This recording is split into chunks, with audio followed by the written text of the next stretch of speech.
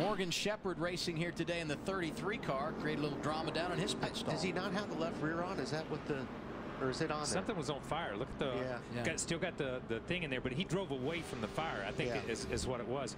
Uh, interesting tidbit here. We heard Mike Helton talk about the first race that, that Turner and TBS and TNT did at Atlanta.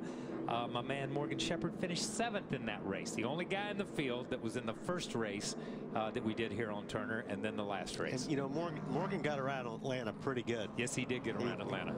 Yes, he, He did. He's really 72 years old, man. Still out Yeah. there hanging in there. 72 years old, the oldest driver ever to start a Sprint Cup race. Joey Logano being scored in 38th after this that brought out our most recent caution. Yeah, that's a tough pill to swallow when you're taken out by a guy that's 15 laps down. Um, I don't know exactly what you know what happened there, but if you take a ride on the 22 here, just watch. He get turn, he gets pounded in the left rear. Joey Logano in the garage. Let's hear from him, Marty.